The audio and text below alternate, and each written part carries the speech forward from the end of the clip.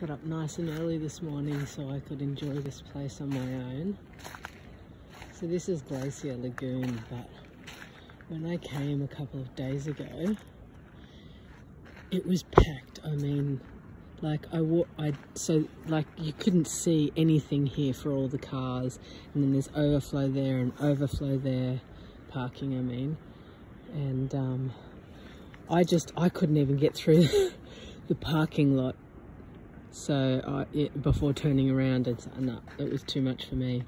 So um, yes, this was my plan, and and it worked. So I'm very excited to be um, having my morning coffee here today.